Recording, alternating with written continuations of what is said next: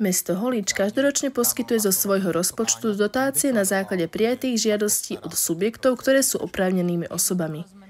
Na poslednom zasadnutí Mestského zastupiteľstva poslanci schválili z rozpočtu celkovej vyčlenené čiastky na dotácie sumu vo výške 120 tisíc eur. V piatok 22. marca si úspešní žiadatelia prišli do tabačiarne Holického zámku prevziať uzatvorené zmluvy na poskytnuté dotácie pre svoju činnosť.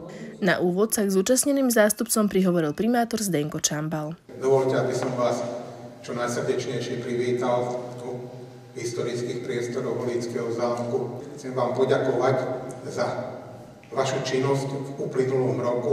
Ja predpokladám, že aj v tomto roku 2024 úspešne a kvalitne nadviažete na tie aktivity, ktoré ste urobili v tom predchádzajúcom období a chcem aj povzbudiť, povzbudiť všetkých vašich kolegov či kolegyne, ktoré s vami tiahnu tú jednu inštitúciu, spolok či, či klub, lebo viem, na vlastnej koži som sa viackrát presvedčil, že vždycky je to len o tých pár ľuďoch.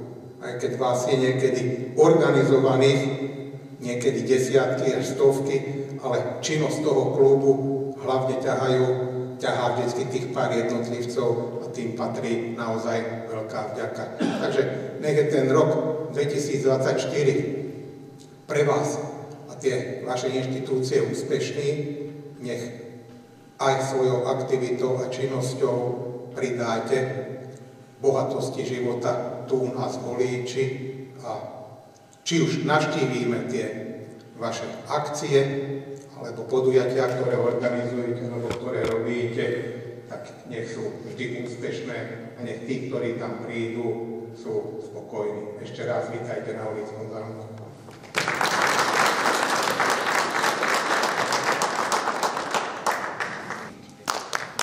Celkovo bolo pre rok 2024 na Mestskom úrade zaviedovaných 42 žiadostí.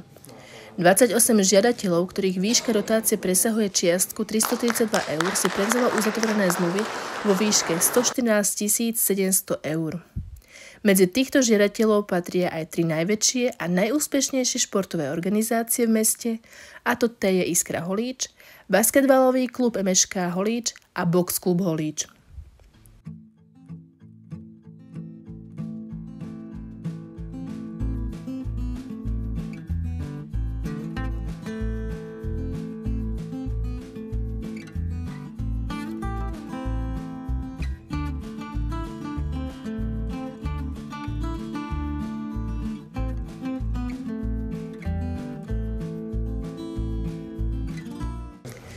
Zmluvu na dotáciu vo výške, do výšky 332 eur, o ktorej rozhoduje primátor mesta, si taktiež prevzlo 6 subjektov.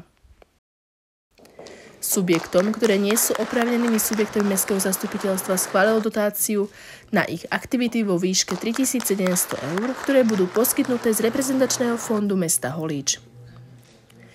Primátor mesta Zdenko Čambal tiež poinformoval prítomných zástupcov zúčastnených organizácií o pripravenom výjazdovom zasadnutí Trnavského samozprávneho kraja, ktoré sa uskutoční v stredu 27. marca o 14. hodine v tabačiarni Holického zámku a prezradil aj pár župných informácií.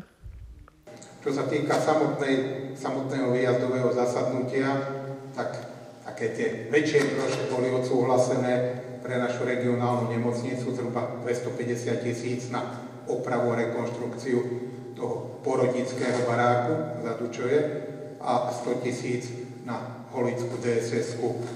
Máme tiež zavedený mechanizmus, že každý jeden poslanec Travského kraja má svoj tzv. kontingent, 15 tisíc eur. Toho môjho kontingentu dostanú finančné prostriedky pohotovosti a záchranný tým vo výške 1450 eur, potom folklórny súbor Válša vo výške 1500, Porádek hor vo výške 1400, Strelecký klub Beta 1250, Beseda občanské združenie Holíč 500 a okresná organizácia Polovníckého zväzu Skalica 3000 eur s tým, že polovička ide v rámci toho vývatu, toho podujatia najväčšieho, ktorým otvárame turistickú sezónu, čo bude sa konať tu volíči 20. apríla.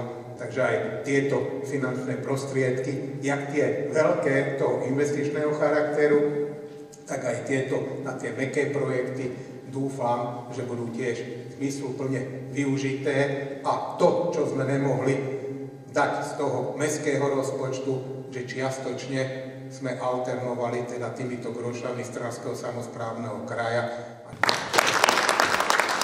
Zata je Iskra Holíč, ktorá je najväčšou športovou organizáciou, sa za všetkých zúčastnených na záver poďakoval prezident klubu Rastislav Celetka. Ja by som sa chcel poďakovať vedeniu mesta Holíč a samozrejme aj poslancom, ktorí tieto dotácie schválili.